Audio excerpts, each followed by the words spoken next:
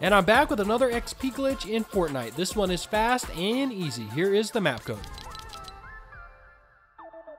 Map code is in the description.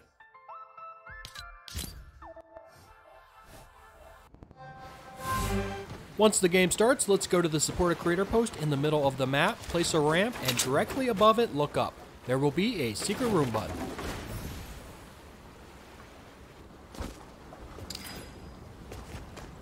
Now come over here and interact with the sleuth. Now we need to make our way to the control area.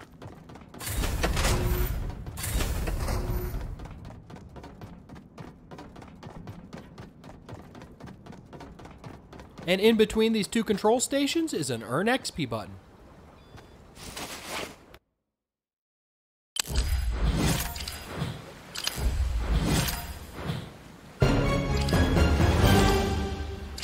Level 200 Battle Pass is done.